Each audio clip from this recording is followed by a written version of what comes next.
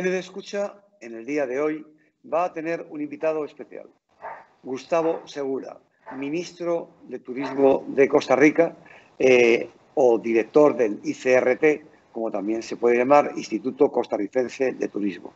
Tenemos que tener en cuenta que muchos países de Iberoamérica que no tienen un ministerio tienen un instituto, como pasa con Guatemala también, pero el director de este instituto, el presidente del instituto, tiene rango de ministro a todos los efectos exteriores. Por lo tanto, señor ministro, bienvenido y bienvenido a CNE de Escucha. José Carlos, muchísimas gracias. Gracias por tenerme en CNE de Escucha este día. Encantado de conversar con usted y, por supuesto, con todas las personas que hacen el favor de, escucharnos este día. Vamos a, comenzar por una pregunta. Usted eh, se ha incorporado al ICRT hace dos, tres meses, vamos, en este momento, ¿no? Casi tres meses, correcto. Eh, ¿cómo, ¿Cómo llegó usted al ICRT? Bueno, José Carlos, yo tengo una carrera de 23 años en la industria turística costarricense, em, la mayoría de los cuales em, he fungido como ejecutivo hotelero. Em, en, por cierto, en, muchos distintos nichos de la hotelería costarricense. He tenido el privilegio y, el, y el, de verdad el honor de ser eh, gerente de hotelitos muy chiquitos de 14 habitaciones en localidades muy remotas y también he dirigido eh, hoteles urbanos de más de 300 habitaciones con, su centro de convenciones.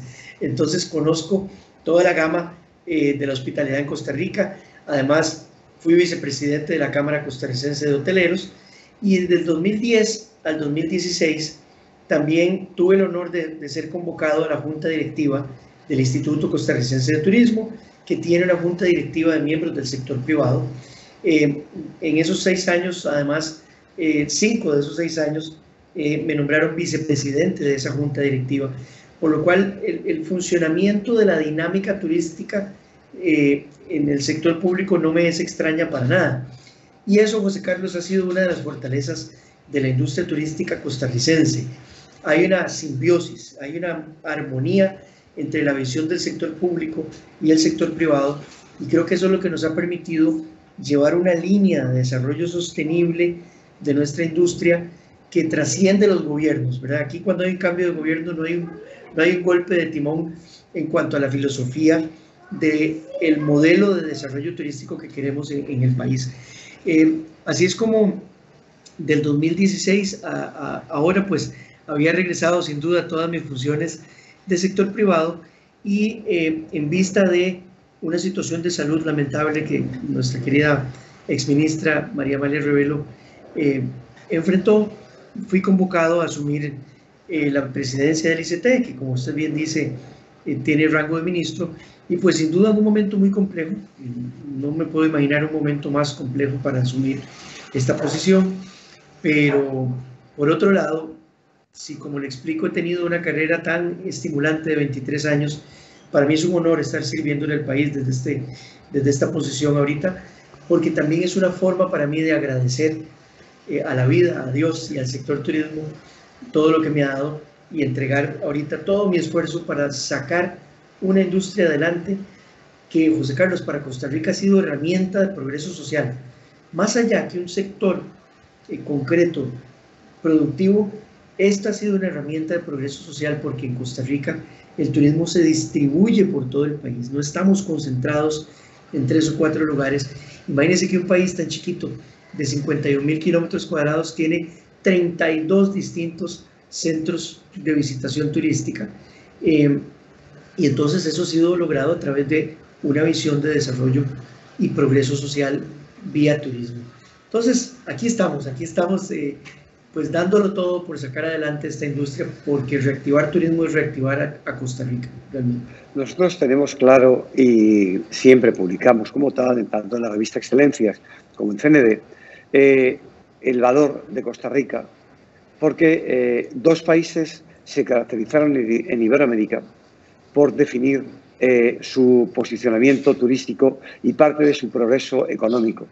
Uno fue Perú, Evidentemente, Perú lo fue directamente a través de eh, la gastronomía y Costa Rica lo fue a través de la ecología, el medio ambiente y el respeto natural. Eh, los dos fueron dos locomotoras un país grande, un país chico, eh, la locomotor del sector turístico, evidentemente, eh, a través de la ecología, el medio ambiente, ejemplo mundial. Y, por supuesto, también tenemos que tener en cuenta que, aparte de ser ejemplo mundial, ha tenido otra característica fundamental, que podríamos decir que ha sido la locomotora del turismo en toda Iberoamérica y del turismo ecológico, nos da eh, un posicionamiento, el que usted nos comentaba. Uno, eh, los ministros de Turismo de Costa Rica han sido expertos, evidentemente, en, todo lo que tiene que ver con el sector privado, con la industria privada. Es así, ¿verdad? Como usted me comentaba. La segunda parte es que no ha habido cambios bruscos de eh, dirección en los cambios políticos, que usted nos comentaba exactamente igual, y es evidente. Y ahora viene la pregunta. María Amalia con la que usted coincidió en anteriores eh, funciones, eh, una persona con una visión muy importante y un concepto aéreo y marketingiano muy interesante, eh, comenzó una función hace, es que no llegó al año y medio de, de mandato, ¿no? Realmente. comenzó una función en la que no pudo desarrollar todos los procesos que se habían planteado por el ICRP para la evolución de Costa Rica y acoplarse a la nueva competencia que estaba surgiendo por países cercanos como Panamá, que estaba luchando, eh, y que eh, evidentemente tenían eh, una visualización. ¿Cómo van a seguir ustedes las campañas de promoción internacional que se habían planteado anteriormente? ¿Van a seguir por el mismo camino o el, cambio, el, tema de la pandemia y el caso de pandemia va a cambiar radicalmente este, esta presentación? Bueno, es una, es una excelente pregunta. El modelo de desarrollo que Costa Rica escogió, sin duda, está fundamentado en la protección de la biodiversidad. Eh, en nuestro país eh, hemos escogido una ruta bien interesante. El 26% del territorio nacional, que es apenas de 51 mil kilómetros cuadrados, el 26% está bajo alguna forma de protección, ya sea parques nacionales o reservas privadas en conservación. Lo interesante es que todas, todas esas reservas, sean públicas o privadas, tienen infraestructura para el disfrute turístico. Es decir, es un modelo de conservación, pero que está concentrado en llevarle bienestar a las personas. Eh, en estos tiempos de pandemia, José Carlos, aunque nosotros no pensábamos en hacer un modelo de desarrollo turístico no masivo, y con crecimiento gradual, pensando en una pandemia, por supuesto nadie hubiera pensado en esto, pues el tiempo de pandemia resulta ser que lo que el mundo está valorando bastante más en estos momentos es el tipo de destino que Costa Rica ha construido. ¿verdad? El mundo ahora va, va a virar su mirada a un lugar donde pueda ir y no estar en grandes aglomeraciones, donde pueda estar en una experiencia al aire libre, pero que además le, sea muy significativa, José Carlos. Y aquí es donde voy a empezar a contestar su pregunta de una manera más directa. De aquí en adelante nosotros vamos a seguir promocionando Costa Rica como un destino de turismo sostenible, pero al concepto de sostenibilidad le vamos a agregar nuevas dimensiones que aunque sí las tenemos, antes no las comunicábamos con fuerza. Y tiene que ver con el bienestar de las personas. Bienestar, por supuesto, se fundamenta en un disfrute de la naturaleza, pero hay otras características que tiene Costa Rica que también le agregan fortaleza al modelo de crecimiento sostenible. Primero, eh, dado que nosotros desde 1948 abolimos el ejército, todos esos recursos que de otra forma se hubieran dedicado a Fuerzas Armadas se han invertido por 80 años en el Sistema Universal de Salud, y en el sistema universal de educación del país. Entonces, resulta ser que en Costa Rica, hasta en la comunidad más, más rural y más recóndita y más alejada de los centros urbanos, hay facilidades públicas de atención médica primaria. Eso nos ha permitido ahora en tiempos de pandemia que tengamos tan solo un 1% de letalidad de las personas que se han contagiado con el virus del COVID. Bueno, es hora de decirle al mundo también que además de biodiversidad, Costa Rica es un país con un sólido sistema de salud. En la parte de educación, tenemos un 97% de nuestra población con nivel de alfabetismo. Entonces, repito que dado que nuestra industria turística está distribuida por todo el país, como nuestro sistema de educación llega a todo el país, es posible afirmar que hasta en las empresas turísticas más alejadas de los centros urbanos hay colaboradores turísticos con toda la capacidad de implementar protocolos operativos complejos, sean estos de gastronomía, sean estos de operación de aventura y ahora, muy importantes, protocolos sanitarios de prevención del contagio. El mundo, aunque se acabe la pandemia y todos esperamos, Dios primero así sea, que se acabe la pandemia muy pronto, pues el tema de los protocolos de sanitización van a seguir siendo muy importantes. Y Costa Rica debe decirle al mundo, aquí hay un país con personas que tienen toda esa capacidad de, implementación. Entonces, eh, todo esto lo vamos a acuñar en algo que se llama bienestar. Sostenibilidad era un término que aplicaba a cualquier nicho. Bienestar también, José Carlos. Y aquí hay temas que yo sé que son también de, de su área profesional y de su área de experticia, como la gastronomía auténtica de cada país. Bueno, eso también es bienestar. Eh, cuando nosotros decimos que gastronomía auténtica tiene que ver con ingredientes cercanos al lugar donde te encuentres. Si estás en una zona costera, por supuesto uno quiere probar frutos del mar, pero si estás en una zona montañosa, uno quiere probar los frutos de la tierra que están cultivados ahí cerca, transformados en platillos auténticos con excelentes estándares de calidad y excelentes estándares de presentación. Eso también es producto turístico auténtico. Eso también es turismo sostenible. Y Costa Rica ha venido en esa ruta de reforzar su, propuesta gastronómica auténtica y sostenible mediante un plan de desarrollo de gastronomía sostenible que ya tiene 10 años de existir y que ha mejorado muchísimo el perfil de gastronomía de las empresas turísticas. Además, yo me atrevería a decir que pasamos de que gastronomía fuese una debilidad hace 15 años a hoy día ser una de nuestras fortalezas. Y lo mismo puedo decir del producto cultural. Eh, Costa Rica no es un país con una eh, abrumadora presencia de culturas indígenas ancestrales, como sí lo es Perú o México, pero sí tenemos elementos culturales ancestrales que están siendo puestos en valor en estos momentos y que vienen a reforzar el producto turístico. Y no, no solo tiene que ver con indigenismo, tiene que ver con expresiones musicales del Caribe, que son diferentes a las expresiones musicales del Pacífico. Si bien en Costa Rica, del Caribe al Pacífico, hay solo tres horas de diferencia en, vehículo o una hora en un avión, pues aún así hay grandes diferencias culturales y eso lo apreciamos, porque eso fortalece el producto turístico. Y esto es lo que hace José Carlos, que en promedio las personas vengan a este país por 12 noches y visiten cuatro o cinco diferentes lugares y muy diferentes entre sí. Bueno, es muy importante eh, lo que usted nos acaba de comentar y creo que es fundamental el que recabemos algunos datos que para nuestros uh, televidentes puedan ser eh, suficientemente clarificados. Uno es que Costa Rica está dentro de los 20 países eh, que tienen COVID o que tienen fortaleza en el COVID, ocupa el puesto 13, por lo tanto está en la parte mm, trasera de esos países, con seguridad. El segundo es que la diversidad en kilómetros cuadrados, pero sobre todo en densidad de población, ustedes tienen una densidad de población muy baja. Eh, eh, eso también facilita que la transmisión sea mucho menor. Sin embargo, hay un tema que eh, después le hablaremos de los dos temas, sobre todo del bienestar, pero el tema de la seguridad para el, para el turista, hay dos puntos que son delicados.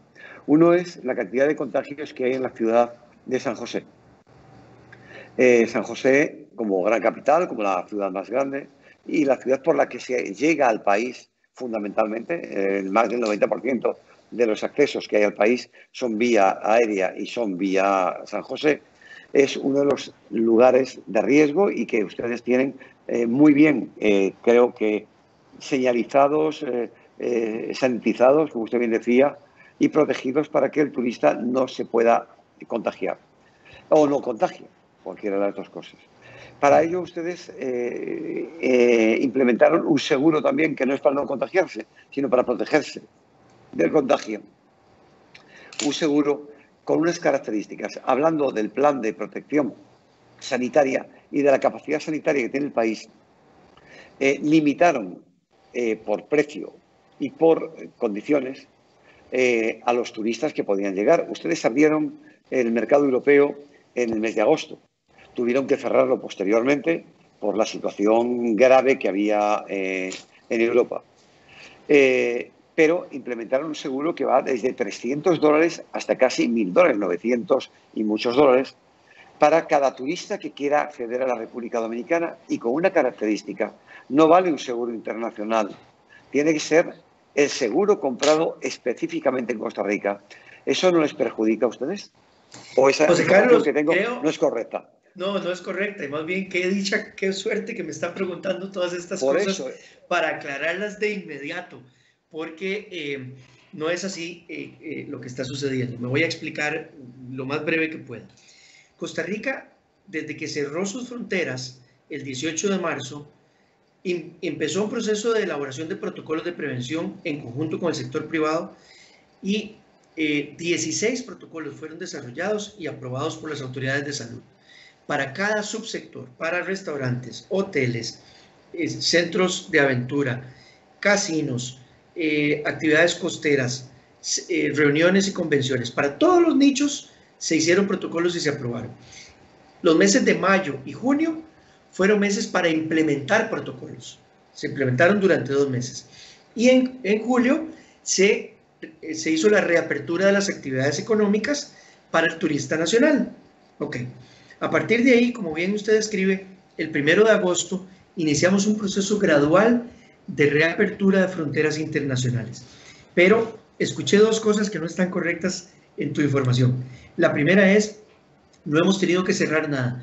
Desde el primero de agosto se abrió para el mercado de Europa, Canadá, Reino Unido, eh, y más bien en septiembre empezamos el proceso de incluir nuevos orígenes con 21 eh, estados de los Estados Unidos que por cierto, para el primero de noviembre ya vamos a tener el 100% de las fronteras internacionales abiertas desde los Estados Unidos, yo diría desde la gran mayoría de los países de origen para Costa Rica. Eh, lo que sí sucedió es que durante el periodo en que estábamos abiertos para Europa, se da el aumento de tasas de contagio como la segunda ola en Europa, y eso lo que ha significado es que el tráfico no ha sido eh, eh, grande, pero en ningún momento hemos estado cerrados después del 1 de agosto. Dicho lo anterior, lo que sí debe decir José Carlos es que los 5.500 turistas que ingresaron entre agosto y septiembre, que son muy pocos, nos permitieron hacer una especie de eh, plan piloto, una especie de laboratorio para determinar si los requisitos que habíamos determinado estaban funcionando o no. Y de decir eh, eh, José Carlos, que de esos 5.500 turistas, adivíname cuántos fueron reportados como que ingresaron al país con el contagio del COVID. Fueron cero. ¿verdad? Ninguno de ellos fue reportado como haber, haber entrado al país con el contagio y no tenemos ni un solo reporte de alguno de ellos habiendo adquirido el contagio estando en Costa Rica. Entonces, eso lo que nos demuestra a nosotros es que los protocolos están funcionando tanto en aeropuertos como en las empresas turísticas. Ahora voy a aclarar lo de los seguros. Eh, el tema de los seguros, incluyendo cobertura pandémica, ha, ha cambiado muy rápido en el mundo. Cuando empezamos a discutir estas cosas en el mes de mayo, la gran mayoría de seguros internacionales aún no incluían cobertura pandémica. Entonces, hubo una empresa local que diseñó un seguro para turistas y que evidentemente, al haber sido primero solo una empresa local y segundo, con los números reducidos de, consumidores que hay en el país, pues ese, ese producto de seguros en efecto salió muy caro en las primeras semanas. Pero resultó ser que durante el mes de junio y julio, muy rápido las empresas aseguradoras internacionales empezaron a emitir seguros mucho más competitivos en precio que cubrían la enfermedad pandémica.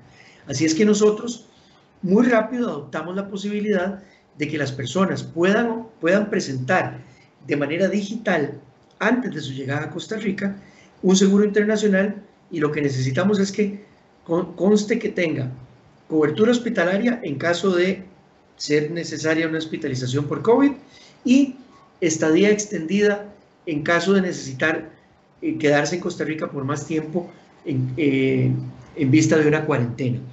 Y con eso yo diría que más de la mitad de los turistas que han ingresado lo han hecho con ese seguro internacional. Adicionalmente, ya hay más oferta local de ese seguro y los precios se han reducido en promedio en estos momentos a 9 dólares por día. Es decir, si venís 10 días, te cuesta 90 dólares. Si, si venís 20 días, y ya es una estadía bastante extendida, eh, te cuesta unos 180 dólares. Eso es producto de la competencia, ¿verdad? Entonces es, es importante haber aclarado eso. Pero yo creo que, ahora sí, mirando hacia el futuro, José Carlos, eh, ese, ese escenario piloto donde vemos que el turismo internacional no es vector de contagio, es el que nos permite ir ahora con un dinamismo mucho mayor hacia la apertura de fronteras internacionales, porque además el sector privado está demostrando ser muy pulcro en la implementación exhaustiva de los protocolos de prevención. Y también lo que mencionabas es cierto, eh, los focos de contagio están en los centros urbanos relativamente marginales de nuestro país, no es, no es en las costas, no es en, los, en las regiones de baja densidad poblacional, que es justamente donde se encuentran los atractivos turísticos, que se encuentran los principales focos de contagio en nuestro país. Entonces, evidentemente la respuesta es correcta. no, eh, no son esos precios que se manejaban en el sector, de que eran muy caros los seguros y la obligatoriedad que de ser un seguro eh, evidentemente eh, tico, exclusivamente contratado ahí, sino que cualquier persona con su seguro internacional puede viajar a Costa Rica siempre y cuando lo pueda demostrar de forma digital antes de su llegada al país. Exactamente. ¿verdad? Exactamente. Pues eso nos alegra mucho que haya podido hacer esta aclaración, porque así eh, los rumores o las informaciones que quedan perdidas, siempre queda ese recuerdo de lo que puede ser no útil. En segundo lugar, yo le haría una pregunta eh, dedicada al bienestar. O sea, hay una, una feria internacional que este año no se pudo hacer, que se llama Termatalia, que es la feria más importante del mundo, a la que ustedes han participado año tras año con sus aguas termales, e iniciándose en ese sector del termalismo. Eh, ¿Ustedes creen que el sector del termalismo puede ser un sector motivacional, al mismo tiempo que es un sector, eh, por supuesto, de contacto con la naturaleza, eh, para tener un argumento más para Costa Rica? Claro, claro que sí, José Carlos. voy a contestar esa pregunta recordando qué pasó en los últimos 20 años. Costa Rica empezó a desarrollar una imagen muy fuerte con base en un nicho, que es ecoturismo. Ecoturismo es un nicho de mercado particular, pero con ciertas características que se le inyectaron al resto de los nichos de mercado del país y eso se acuñó como la palabra sostenibilidad, turismo sostenible. Y hoy día usted puede tener principios de turismo sostenible en hoteles de San José, en centros de convenciones, en empresas de aventura, eh, prácticamente en cualquier sector usted tiene principios de sostenibilidad que tienen que ver con energías limpias, con uso de materiales eh, reciclables o biodegradables de limpieza y una larga lista de cosas que hasta se llevaron a una certificación de turismo sostenible que tenemos en nuestro país. Ahora me muevo a eh, lo, que acabas de mencionar como, las, como el termalismo. Hay ciertos nichos de mercado que son muy específicos en, en, wellness, ¿verdad? En, bienestar. Por ejemplo, el termalismo o el turismo de salud o, una, o un retiro de yoga de una semana, ¿verdad? Ahí uno va realmente a reencontrarse con uno mismo y, con, el, con Lo, que le es, lo que le es relevante. Pero también de esos nichos concretos se extraen principios que nosotros estamos convencidos que se pueden eh, impregnar en todos los demás nichos eh, del mercado turístico costarricense. Por eso es que estamos acuñando la palabra turismo de bienestar, santuario de bienestar para todo el país. Porque incluso si vienes por cuatro noches a un congreso, no sé, de veterinarios o de contadores públicos, eh, también podrías tomar 10 o 20 minutos en la mañana, 10 o 20 minutos en la tarde para espacios de reflexión, para espacios de meditación. También la gastronomía que se disfruta en esos eventos puede ser llena de elementos, em, ya sea vegetarianos o no, pero sí orgánicos, por ejemplo, eh, lleno de elementos de, ingredientes que fueron producidos cerca de ese lugar y por lo tanto son frescos, son traídos de eh, fincas mm, manejadas con principios sostenibles, familiares, etc.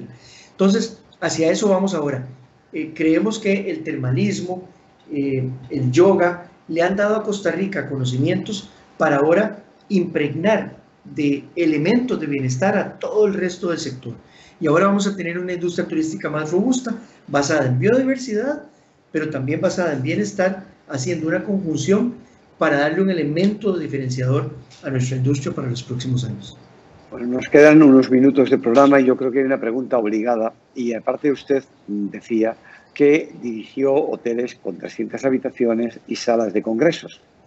Eh, Costa Rica tiene un excelente palacio de congresos eh, en el que se han celebrado últimamente los eventos más importantes del país.